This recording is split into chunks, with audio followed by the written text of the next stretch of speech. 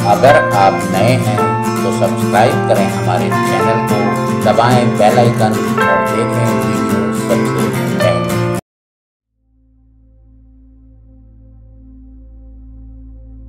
मित्रों, आज बृहस्पतिवार है। आज हम वेदों के अमृत का स्वाद चखाएँगे ऋग्वेद के दसवें मंडल के 117वें सूक्त के सातवें मंत्र में कहा गया है प्रणनापिर प्रणंत मभिष्यात।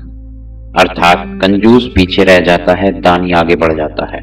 लक्ष्मी चंचल होती है, उसे रोकने से वह बढ़ती नहीं है। दान प्रकृत धर्म है, दान करने वाला आगे बढ़ जाता है, जबकि कंजूस पीछे रह जाता है। दानी स्वभाव होने पर व्यक्ति का यश और गौरव बढ़ता है।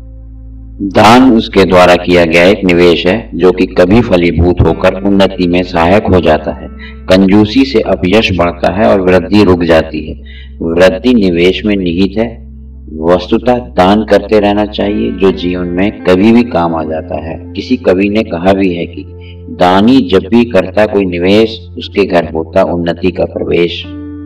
अगले सप्ताह हम फिर वेदों के अमृत के साथ आपसे पुनः भेंट करेंगे। तब तक के लिए अलविदा। जय हिंद दोस्तों।